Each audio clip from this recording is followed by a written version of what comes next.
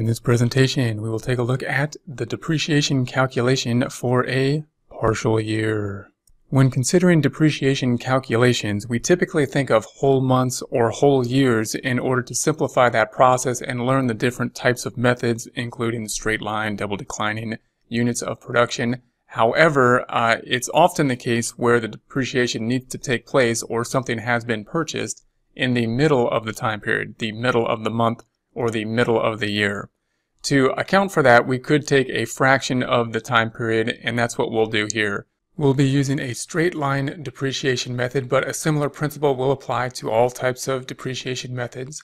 We've got the cost here, the salvage value being a thousand. We purchased it on 10-1, October 1st, and the useful life is three years.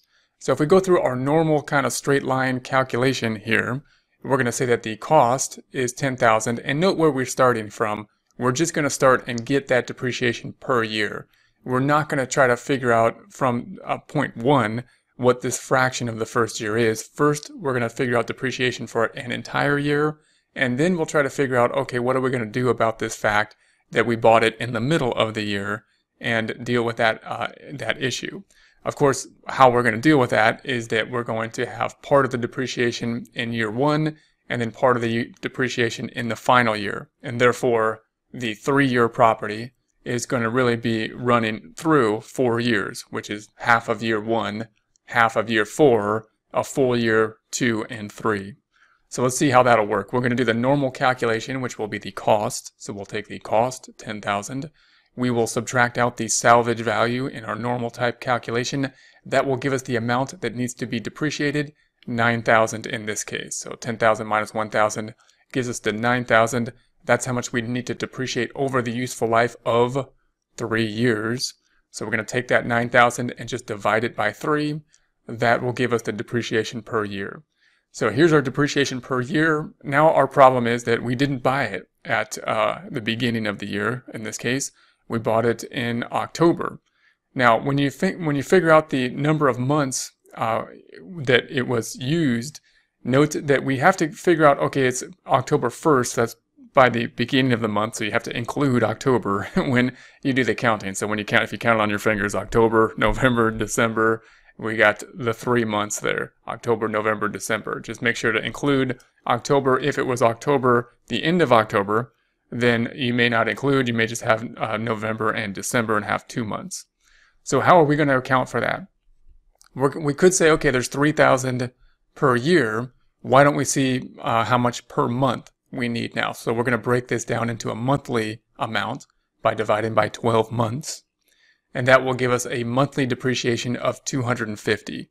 So we've got a 250 monthly depreciation and we bought it in October. October, November, December means we had it for three months.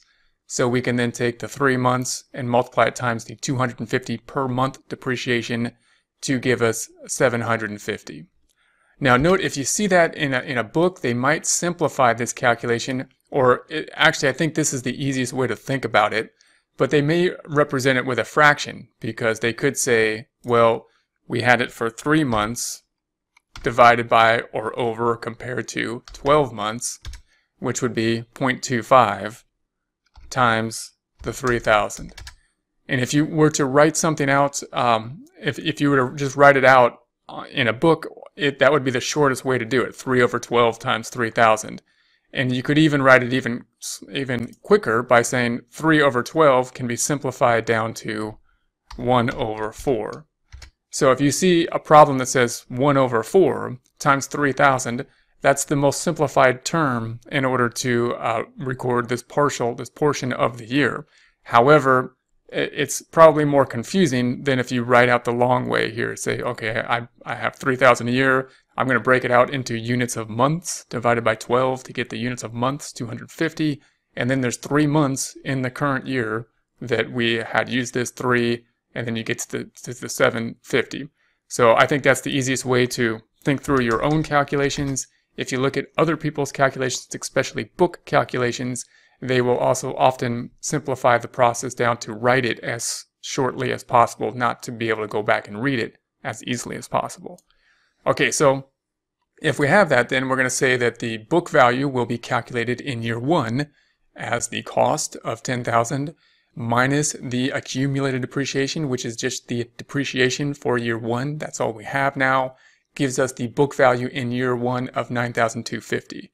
Remember that you really need, they can, they can ask you for the depreciation here and it's great to get to that point but it's really common even for multiple choice questions to ask for the book value or the accumulated depreciation just to give a little extra level of complexity. So make sure to be able to calculate both depreciation and at least a couple years of the accumulated depreciation and book value. So in year two, we would take the 10,000 and then we have a full year of depreciation, 3,000, plus the 750 from the prior period, meaning the accumulated depreciation is 750 from last year plus this year's full year of depreciation, not the 750 partial year. And that gives us 3,750. 10,000 minus 3,750 gives us 6,250. Then we're going to do this for year three. We've got 10,000 same cost. Accumulated depreciation is now the 3,750 uh, prior year's accumulated depreciation plus another 3,000. You can also think of it as just, you know, the depreciation that has been calculated over the three-year period, which is 750 plus 3,000 plus 3,000. That's the same thing as saying the prior year's accumulated depreciation plus the current year's depreciation expense gives us 6,750. 10,000 minus 6,750 leaves us at 3,250.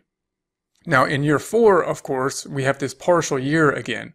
So we're going to have the same 10,000, but now we've got this partial year. If there was 750 recorded in year one, the other half of, or the other portion of the 3,000 is going to have to be recorded in year four. Let's go through the same calculation one more time to get to that. We're going to say that the straight line calculation is the 10,000 cost. This is the exact same calculation until we get to the green part here. Divided or minus the salvage value gives us the uh, amount to be depreciated, 9,000. And then we're going to take that and divide it by the number of years, 3. And remember, that's how we got to our 3,000. So here's our 3,000 per year. Now we need to figure out the partial year for the last year. So uh, in other words, if we had it for 10, 11, 12 in year 1, 3 months, then 12 minus 3, uh, what happened there? 12 minus 3 we had it for nine months in the final year, in year four. So we'll do the same calculation. It's 3,000 and divided by 12 gives us 250 per month. And now we're going to multiply that not times 3, which happened in year 1, but by 9, which happened in year 4, and that'll give us the 2,250. The other way you can do this, of course, is to just say, well, if this is a full year of depreciation, 3,000 and we already depreciated 750 in year one, then we need to get the other part of that 3000 to get to the full year between year one and year four, so we can subtract minus the 750, gives us that 2250. So then we can uh, complete this. We're going to say that we have the 10,000 here uh, minus the 9,000, which is the accumulated depreciation of 6,750 from last year, plus the current year's 2,250. That'll give us the 9,000. You can also think of it as just adding up all the depreciation over the life, which started out with the 750, and then we added 3,000 plus 3,000 plus now 2,250. So what have we done? Accumulated over the life. We had 750 in year one, plus 3,000 in year two, plus 3,000 in year two, three, plus now 2,250 in year four. Or we already did that all the way through year three. So we had accumulated depreciation of 6750 in year three, plus year four depreciation expense 2250. That'll give us our 9,000. Then if we subtract that out, the 10,000 minus the 9,000, we get to the 1,000, which should be and is our salvage value. And it's great to be able to go through the whole problem so that you can have that, you can get to that check figure where you should remain at and get to, the salvage value.